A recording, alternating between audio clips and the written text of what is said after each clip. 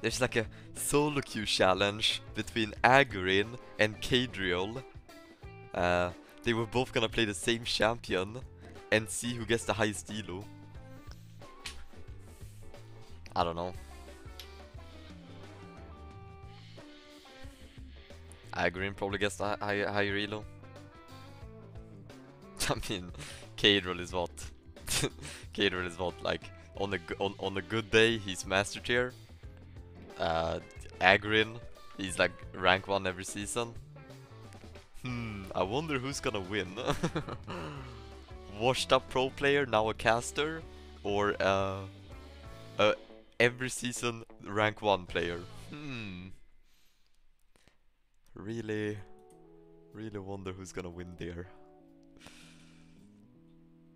Should I? I should do it. I should. I should. Those, those challenges. Those are fun, man. If I were to do a challenge, what, what would it be, and with who would it be? Uh, before you say Drututt, I would never do a challenge with Drututt. He gets too competitive.